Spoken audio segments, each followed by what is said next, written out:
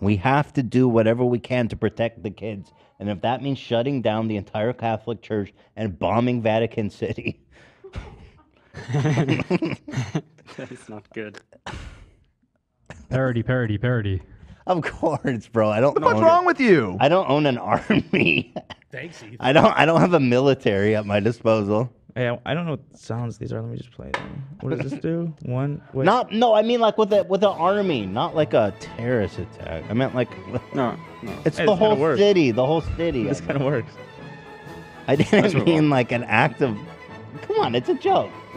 So, surprise, surprise, Ethan Klein has done something stupid yet again. He has asked for people to bomb Vatican City. That's right. He wants Vatican City bombed so that way, you know, we can save the children from the Catholic priest because you know, it's not like any other religious organization has done that to young boys.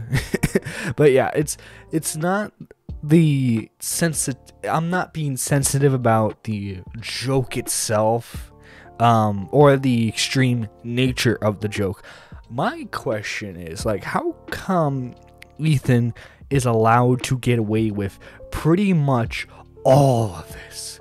Like anytime he tells an edgy joke, okay, he's banned for a week. The strike gets removed. Continues with his day. Like, n- literally slap on the wrist, nothing gets done. Uh, Leafy made quote unquote too many videos on Pokimane, said she was 2 out of 10, and then gets his entire channel deleted. And anytime he's tried to come back since, uh, yeeted off the platform again.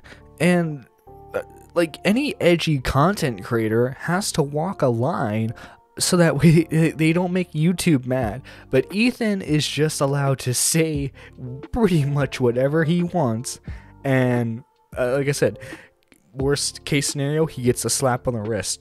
And he's talking about how "Oh, we're, the da- the dangerous ultra right are gonna destroy the platform and all this. Like jesus man. You're the you're the crazy lunatic on this platform. Like the other guys aren't you are. Because he's actively trying to censor other people while crying when he gets the same punishment like he celebrates bands. Uh, he celebrated Leafy's band. He celebrated Andrew Tate's band. He celebrates Sneako's band. But the second any punishment towards him, oh, it's censorship. Oh, the corporations, they they got too much power, and all, all this other crap. Seriously, when is e- when is Ethan just gonna shut up, man? When when is Ethan just gonna shut up? Well, I'm not gonna shut up anytime soon. This is Nerdy John.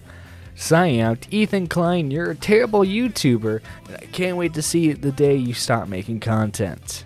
Signing out.